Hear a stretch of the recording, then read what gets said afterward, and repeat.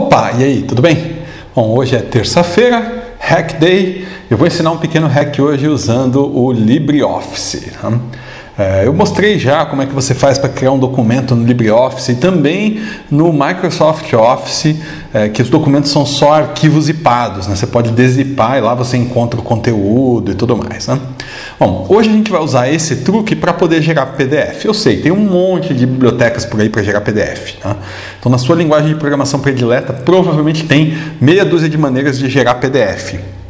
A questão é que todas elas envolvem construir o layout do PDF com programação, com código. E às vezes não é o que você quer, sabe? Às vezes você vai montar um PDF que é um layout sofisticado, é, em que em vários lugares você tem que pôr conteúdo, em que esse conteúdo tem, tem, que ter coisas como, por exemplo, quebra de linha, caixas que ajustam de acordo com o tamanho e. E às vezes é muito, muito mais fácil só montar um documento no LibreOffice e gerar um PDF a partir dele. Então vamos lá, olha só. Eu vou começar abrindo aqui o LibreOffice né? e vamos escrever um documento com o singelo título de documento, vai ficar legal, né? Tá? Assim, muito bom. E aqui a gente vai colocar nome e vou colocar aqui um espaçador para o nome, assim, olha só, desse jeito. Eu que inventei isso, aqui não é um código especial, não. Opa, é o seu sobrenome.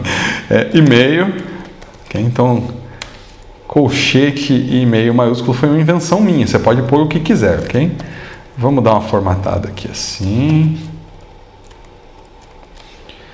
Muito bem.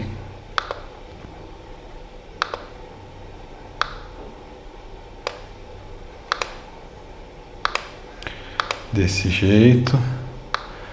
Aumentar a fonte disso aqui. Assim, muito bem.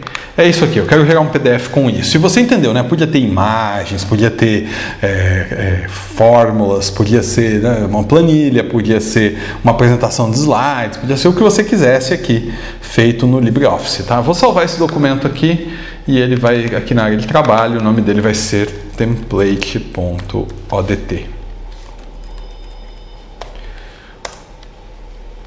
Muito bom, tá salvo lá meu template. Vamos abrir um terminal aqui agora.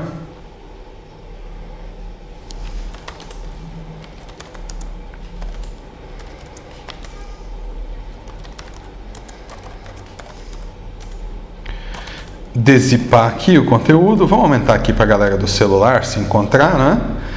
E aí, olha só, grep menos rl e-mail na pasta atual. Muito bom, olha só. Qual é o arquivo que contém essa string? É o content.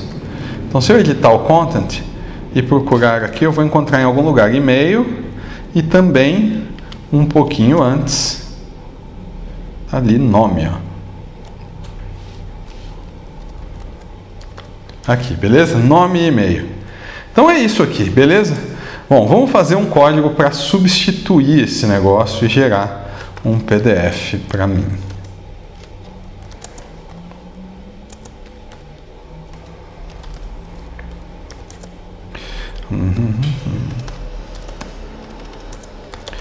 Gera PDF.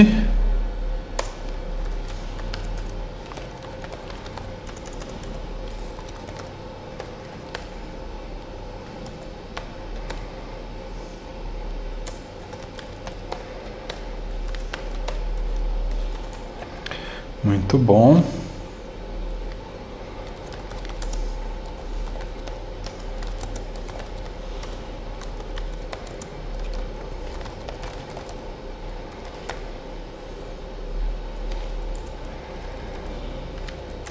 Eu vou colocar aqui um file name aqui.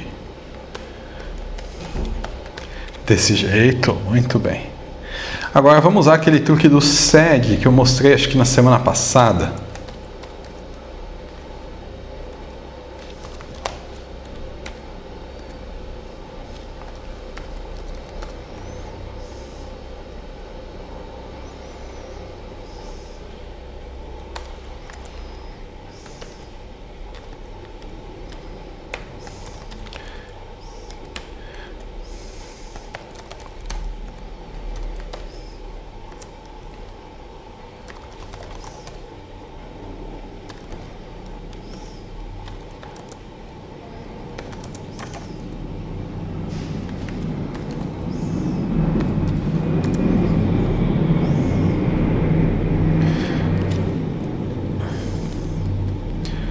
Isso aqui deve gerar um ODT.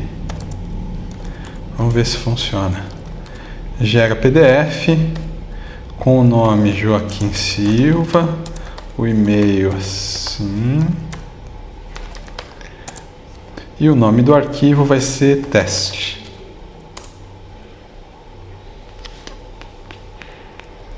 Deu errado.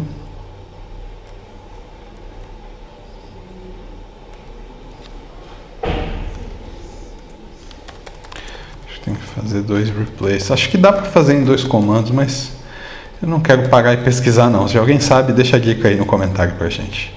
Vamos ver. Ah, replace all. Muito bem, vamos ver. Teste ADT. Ah, tá lá. Substituiu, que maravilha, hein?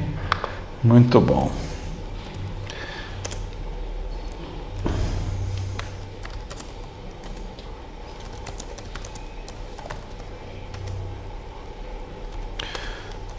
E agora a gente termina com LibreOffice Convert to PDF Teste ADT.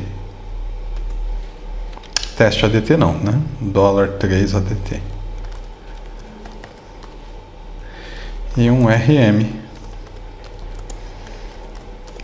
Dólar 3 ADT. Muito bom, vamos testar de novo agora. Isso, agora vamos de novo, só que dessa vez ele não vai perguntar porque ele limpou o diretório. É isso aí, deve estar tá pronto. Olha só, teste PDF. Tá aí, foi gerado. Maravilha, hein? Vamos dar uma olhada naquele código, comentar linha a linha, para você entender o que isso faz. Primeiro eu pego aqui os parâmetros que o usuário passou, nome, e-mail e nome de arquivo, e guardo nas variáveis nome, e-mail e file. Crio o diretório .temp, entro nele e dentro dele eu desipo o ODT. Ah, o ODT na verdade é um zip. Eu dou um replace no ADT substituindo o nome, o marcador nome, pelo nome que foi digitado. O menos "-i" faz o replace é, direto no arquivo, né? então já substitui o conteúdo, altera o arquivo lá mesmo. Então altero o content XML fazendo essa alteração, depois troco o e-mail pelo e-mail que foi digitado. E aí eu zipo de novo a pasta toda, só que como ponto ponto barra o nome do arquivo que o cidadão escolheu subo um nível, quer dizer, vou para a pasta em que eu estava antes, saio de ponto .temp, apago ponto .temp e agora que vem o truquezinho, ó, LibreOffice menos menos convert to espaço PDF espaço o nome do arquivo. Isso aqui vai converter esse arquivo aqui para PDF. Tá? E o LibreOffice já põe como nome o nome do arquivo .pdf. Não preciso nem me preocupar com isso. Removo o ODT que eu acabei de gerar e está feito, funciona. Okay? Olha lá o PDF gerado, beleza? E aí você entendeu, esse PDF podia ser tão complexo quanto eu quisesse, com fundos, com objetos de desenho, com tabelas, é, ia funcionar aqui e é muito mais fácil montar esse layout no LibreOffice do que montar ele usando o código, escrevendo, por exemplo, PostScript, beleza? Bom, essa aí é a dica de hoje. Se você gostou, clica no joinha assim para a gente saber que você está gostando. Não gostou, clica naquele outro e deixa seu comentário. Ah, os comentários têm empolgado bastante a gente aqui. Às vezes bate um desânimo, você, puxa, será que está sendo útil? E o pessoal deixa uns comentários ali que dão gás para a gente continuar fazendo o vídeo, beleza? Valeu!